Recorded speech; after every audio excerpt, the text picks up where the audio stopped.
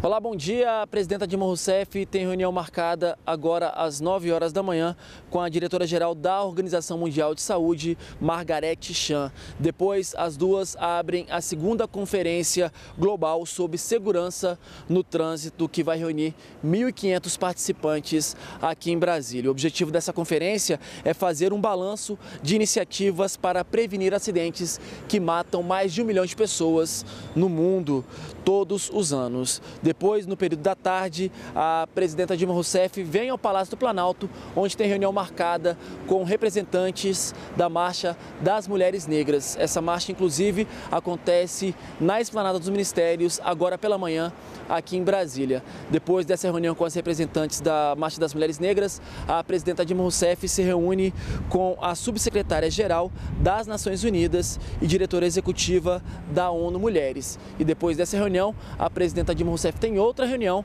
dessa vez com o ministro da Fazenda, Joaquim Levi. O último compromisso da presidenta Dilma Rousseff de hoje é um jantar com parlamentares do PDT às 8 horas da noite. Leandro Alarcon, direto do Planalto.